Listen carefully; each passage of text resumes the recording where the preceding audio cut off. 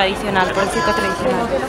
Porque creemos que, que no, que primero porque no hay, todos, todos, hoy en día todos queremos la tecnología al máximo, los camiones más rápidos, los más modernos, los trailers aquellos impresionantes americanos con todos los lujos y claro, a, decirle a la gente que, que, no, que nosotros vamos a hacer marcha atrás, y vamos a, a vivir dentro de carruajes históricos y todo eso, pues algo que a mucha gente pues no, no le va y, nosotros como es algo que queremos y, y, nos gusta. Ya unos años salíamos mucho fuera de Cataluña, casi nunca estábamos.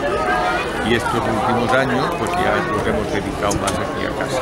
No, yo creo que el, el, que está en crisis normalmente porque, porque, nos, porque defrauda a la gente o porque engaña o por, por, por, por la, la climatología que nos ha ayudado mucho, no, no solamente a nosotros, en general a todos. Preferimos más tener prestigio que fama barata.